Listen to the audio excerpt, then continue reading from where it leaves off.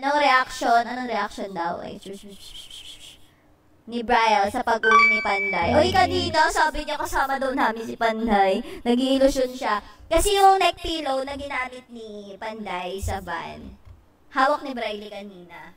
Tapos sabi niya, ano sabi niya? sabi niya, Uy, amoy ni Panday, oh, sabi niya. Sabi ko, ano? Sabi niya, amoy ni Panday, sabi niya. Tapos, pinaamoy niya sa akin yung pillow.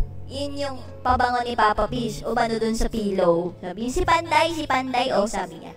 Tapos, kanina nung nasa, ano kami, nasa grocery, kasi bumili kami ng diaper niya.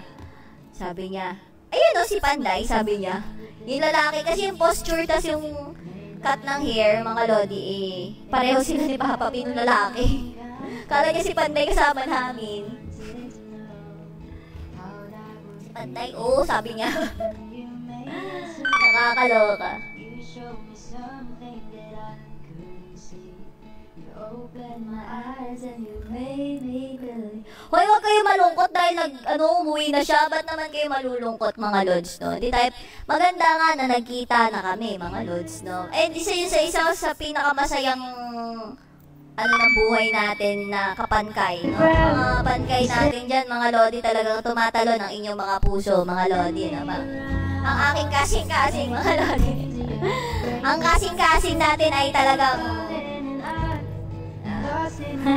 Madam AC Cervantes, huwag kayo malungkot ha! Uy, ba't kayo malulungkot? Pinasaya nga namin kayo, tapos malulungkot lang kayo.